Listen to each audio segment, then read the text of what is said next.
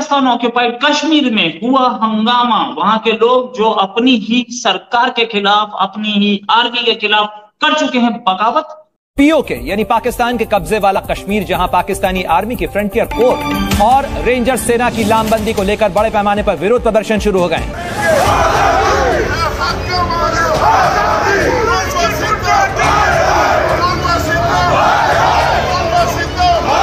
पूरे पीओके गिलगित बल्तिस्तान में प्रोटेस्ट जोरदार तरीके से चल रहे हैं। ये सब कुछ रोज होता है और लोग मरते हैं। उसमें 20 से ज़्यादा पुलिस के सिक्योरिटी फोर्सेस के लोग घायल हुए। वो कहते हैं यार हमें भारत का हिस्सा बनना है ये ज़मीन के साथ हम भारत में शामिल होना चाहते हैं। Not just the people but also the land The people of Pakistani occupied Jammu and Kashmir are now demanding freedom from Pakistan Pakistan वाले लोग कहते हैं मोदी है तो मुमकिन है। आप इनके यूट्यूब वीडियोस देखना खुल के कहते हैं मोदी है तो मुमकिन हो जाएगा। पाकिस्तानी कब्जे वाले जम्मू कश्मीर में पिछले छिहत्तर साल से जुल्म का एक बाज़ार गर्म था। लेकिन हम लोग सहते रहे हमारे लोग सहते रहे।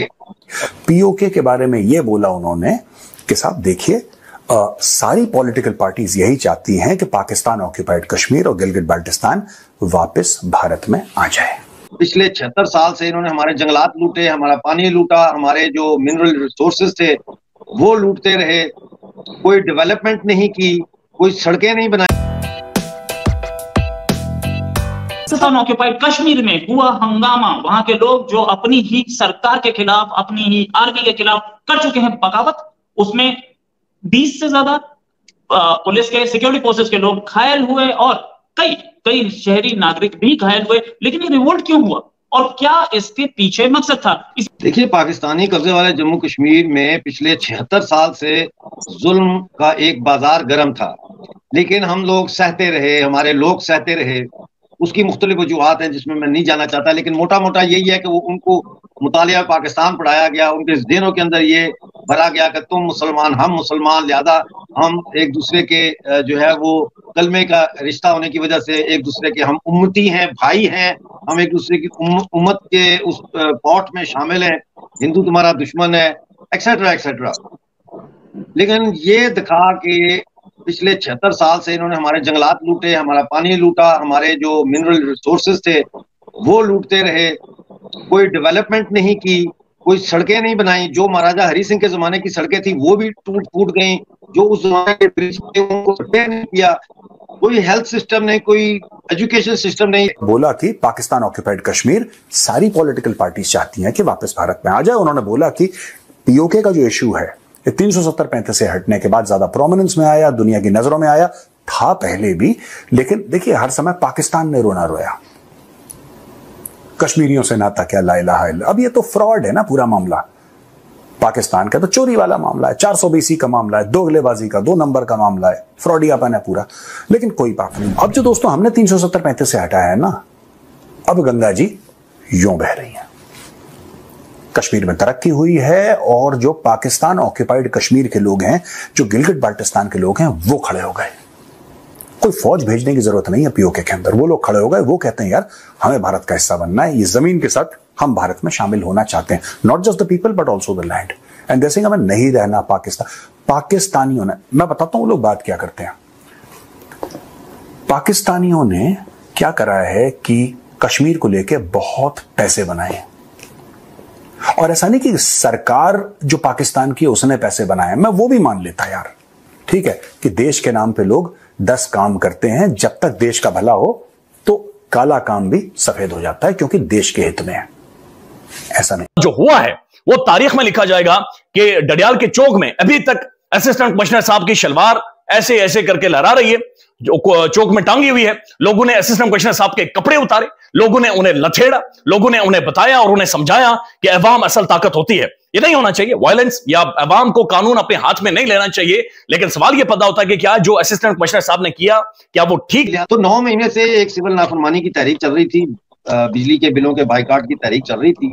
तीन दफ़ा हमने पुरमन तरीके से जनरल स्ट्राइक की, कई दफ़ा कई शहरों में शटर डाउन किए कई शहरों में हमने धरने दिए ये सारा कुछ हम करते रहे लेकिन इन्होंने हमारे मुतालबात नहीं माने। अब इनडेफिनेट पीरियड के लिए वहाँ पर धरना देंगे। जब तक हमारे मुतालबात पूरे नहीं होते तो उसके जवाब में इन्होंने पंजाब कॉन्स्टेबलरी को बुलाया। हालाँकि हमारा एक अलहदा मुल्क है। ये हो ही नहीं सकता कि वो पंजाब कॉन्स्टेबलरी या फ्रंटियर कॉन्स्टेबलरी आए। ऐसे ही है ना जैसे इंडिया में कोई हंगामा हो जाए तो श्रीलंका की पुलिस आ जाए। ऐसा हुआ कभी? तो फिर इन्होंने ये पुलिस जब पंजाब पुलिस का ऐलान हुआ कि फ्रंटियर कोर और पंजाब कॉन्स्टेबलरी आएगी हम्म। ठीक है ना तो उस वक्त जो है फिर लोगों में तैश आ गया। तो रात को इन्होंने गिरफ्तारियाँ की आज सुबह जो है लोगों ने प्रोटेस्ट किया गिरफ्तारियों के खिलाफ लिहाजा वो कौम जो एक इंतहाई तालीम याफ्ता कौम थी जम्मू कश्मीर के लोग इंतहाई तालीम याफ्ता थे मतलब है मीरपुर शहर में आपको बीए से कम शख्स नहीं मिलता था उस जमाने में। वो आज सहराओं की खाक छान रहे हैं, रेत फांक रहे हैं, सूरज की तपती सहरा की गर्मी में वो लोग जो मौसम हमारा, वो मौसम ही नहीं है, उस मौसम में जाके वो मजदूरियाँ कर रहे हैं, जलील हो रहे हैं और उसके लिए क्या कीमत एक और अदा कर रहे हैं? Green passport. यानी वो पाकिस्तान का एक तो ये जिल्लत कि हम जो हमारे जम्मू कश्मीर के खानदानी लोग थे, रवायती तौर पर और बड़े पढ़े लिखे लोग बड़े जफाकश लोग वो जिल्लत की ज़िंदगी गुजारने के लिए मुँह से बाहर उनको जाना पड़ा। दूसरी जिल्लत ये कि एयरपोर्ट पे ग्रीन पासपोर्ट। यानी उनको कश्मीर का पासपोर्ट ही नहीं है या इंडिया का पासपोर्ट या कोई और पासपोर्ट।